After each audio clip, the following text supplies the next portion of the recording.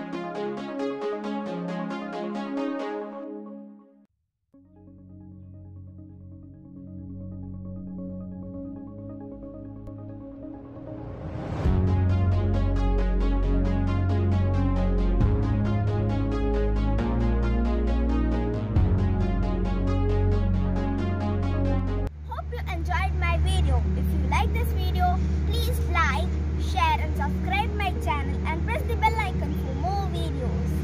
And also give us your feedback on the comment section below. Thanks for watching.